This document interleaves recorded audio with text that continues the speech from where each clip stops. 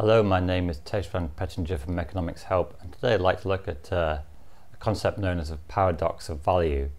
Basically, why are we willing to spend a thousand pounds on a diamond, but water, much more essential to life, is very cheap? You can get tap water for virtually a very low cost. So, first of all, um, it depends on the context if you were in a desert and dying of thirst, a diamond would be practically useless and you wouldn't spend anything on it at all. You would sell all your diamonds to get water. And the reason diamonds are expensive is partly because we buy very few. So if we look at our total expenditure throughout our lifetime, even though water is cheap, our total expenditure on water is much greater. So if we get getting married, then we may buy a diamond ring. And we want to get something very nice for our partner, so we may be willing to spend a thousand pounds to get a good diamond. But after that, we may never buy a diamond again, because the marginal utility of a second diamond ring is much lower. If we have our income, we may get a few more diamonds, but many people will buy only very few. So we buy diamonds once or twice in our lifetime, but water, we need it every day. You can consume water today, but you're still going to need to consume it tomorrow. So, um, you know, my water bill is roughly about £250 a year. That's for water and waste services. Um, so over 40 years, that's um, what, £8,000? Even on that quite conservative uh, measure, uh, I'm spending more on um, water than I am on diamonds. In fact, I've never bought a diamond at all, but then um, that's an economist for you.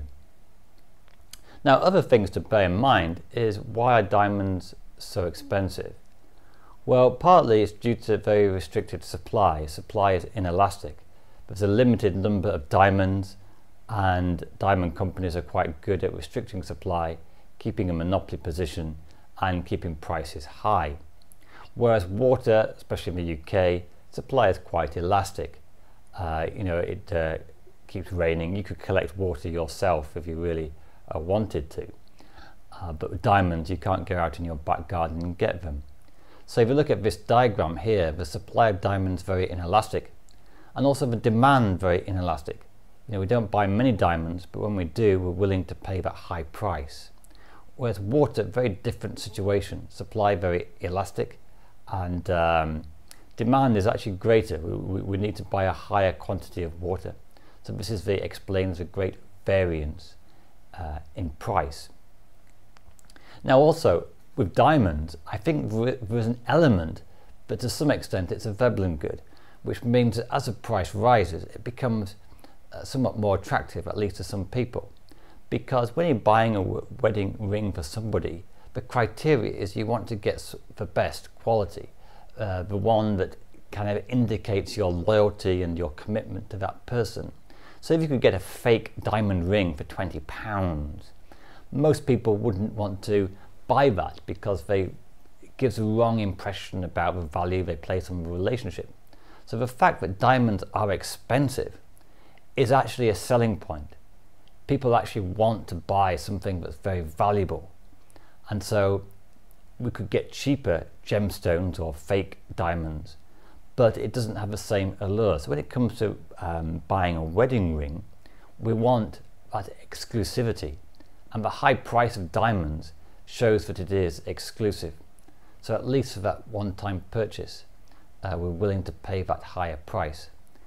Whereas with water, that, consideration doesn't come into it. Now, diamonds and water are very frequently used in economic textbooks. What other examples might we uh, consider? Um, I mean, one thing is why do we willing to spend thousands and thousands of pounds on sending rich people into space when um, there's much more pressing problems down below Earth, like um, people living in poverty or environmental destruction.